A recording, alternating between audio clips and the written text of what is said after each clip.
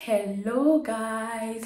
Welcome back to my youtube channel. I'm Meveline Mafor. If you're new to this channel and um, if you're a returning subscriber thank you for coming back once again. Today's video is about guidelines on writing a perfect motivation letter that will earn you a visa. So please do stay tuned. But before that guys please if you've not subscribed to my youtube channel just take a minute and go down and hit the red subscribe button turn on your notification bell so that you get notified whenever i upload videos on this channel and you can easily access them so like i said i'm giving you guidelines on writing like a great motivation letter that would earn you an au visa so what's the first thing you need to know? The first thing I want you all to have in mind is that this letter needs to be typed. It's not a handwritten letter you're going to be submitting, but you have to type and print out your letter. And when you print out this letter, do not forget to sign, okay? That's really important. Your letter has to be typed, printed, and signed. The next thing you have to keep in mind while writing this letter is that the letter has to be written in German. Mm-hmm. I know you're looking at me right now. Yeah, you have to write this letter in German. But of course, with an A1 level of German, they are not expecting you to come with perfect German, right? Like, the letter is not supposed to be perfect. Because why are you applying for au pair in the first place? Because you want to improve on your language and, you know, one of the reasons why you're applying is because you want to improve on your language, right? So if you come with a perfect letter, then there is nothing you want to improve on because you already have everything perfect. So there'll be as there'll be as well no reason for you to move to Germany as an au. So yeah, you have to write this letter in German, but you're not expected to, you know, write everything out perfect. Yeah, your letter should be understandable, but not perfect. The next thing you want to keep in mind is that your letter has to be addressed to the right addressee. By the right addressee, I mean to the German embassy wherever you live. It could be in your home country or that you're currently based somewhere, but you want to keep in mind that this letter has to be addressed to the German embassy wherever you are at the moment when you're applying. And with that said, we are going to go ahead and talk about the introduction of your letter. Hmm. In the introduction of your letter, guys, what do you want to talk about? You're just basically required to talk about you, like your name, where you come from, where you're currently based, what languages you speak. Like if you speak other languages apart from your mother uh, language, you're, it's a good thing if you include this, like the language you speak. And equally, in this part of the letter, you want to talk about your experience with kids, if you've worked with kids before, it's a good thing if you can include your experience with kids. Talk about your hobbies, what you love, what you do when you're free. And, and equally, you could add some information about your level of German. Let's say you have above A1 level of German. Normally, you're required to have A1 if you're applying to travel to Germany for au pair you're required to have an A1. But for instance, let's say you have a B1 already. You can, in this intro, you can talk about, you know, your level of German, how long you've been studying German, where you study the, the language and all of that. Just include that in your letter. That's That should be it like for the introduction. And then the body of the letter. Now I'm going to talk about the body of the letter. I need you to keep in mind, guys, that the body of the letter is the most important part of your letter, okay? And this part of the letter can determine whether or not you get the visa instantly. Like from just reading your letter, this part of the letter can determine whether or not you get a visa. One thing, you can go ahead to divide um, the body of your letter in two parts if you want to, but of course you can just write it in a block paragraph for the body of your letter. But here, the very first thing you need to mention is why you want to be an pair. Like genuinely write why you want to become an pair.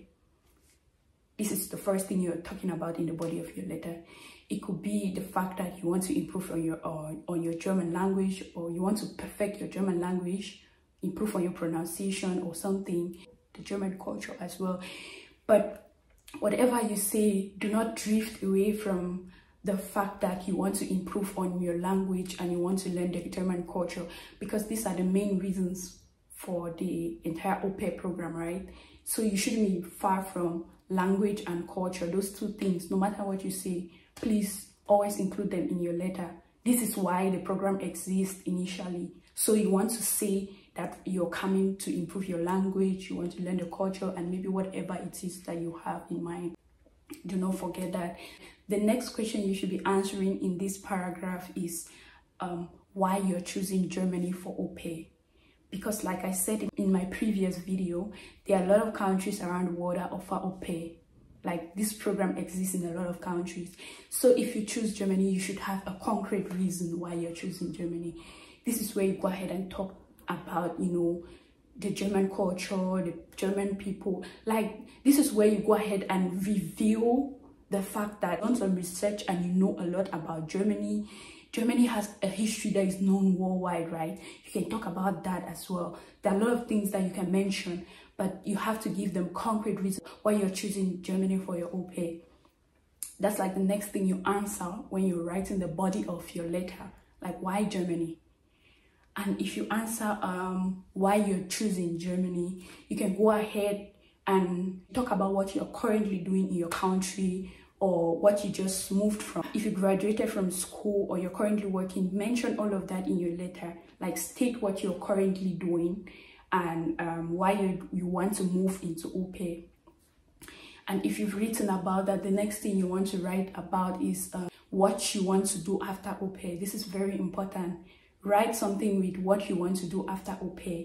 And a tip for you guys, it, it could be that you want to study tourism after au pair in your country and you want to improve on your language, you might have been learning German for a while and you want to come to Germany and improve on your language and your pronunciation, and then you go back and continue with your career back at home, right? Because one thing you need to know is that in this letter, you have to prove to them that after your pair, you're going back to your country, right?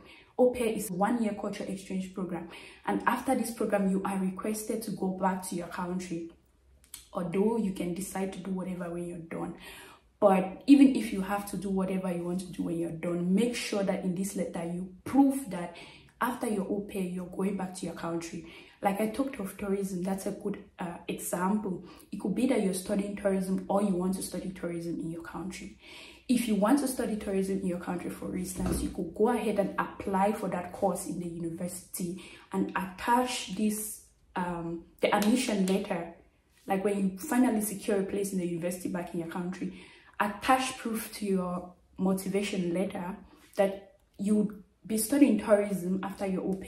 That's like a good thing to do because it actually proves that after au you're going back to your country to continue whatever you talked about.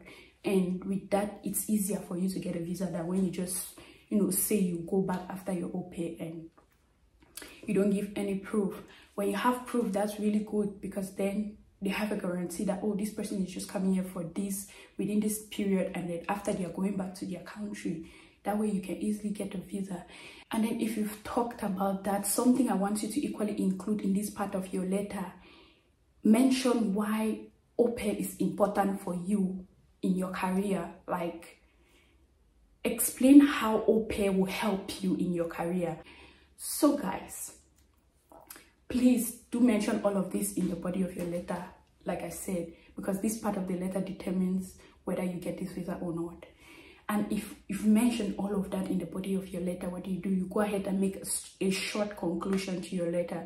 And in this conclusion you could just like you know leave a friendly greeting and equally state that you be grateful if your um if your application is granted because it's going to help you with your career or it's going to go a long way to you know help you with the things you want to do in the future.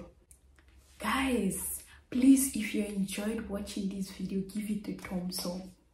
Like the video and please do not forget to subscribe. When you subscribe turn on your notification bell. That way you know when there are new videos available on the channel guys please go ahead and interact with this um, content because it's your interaction that encourages me to create to go ahead and create more content like this. So i urge you to try to interact subscribe like videos share and um, thank you for watching. If you stayed up to this point i'm so grateful. I'm so happy having you around. To my next video guys. Stay safe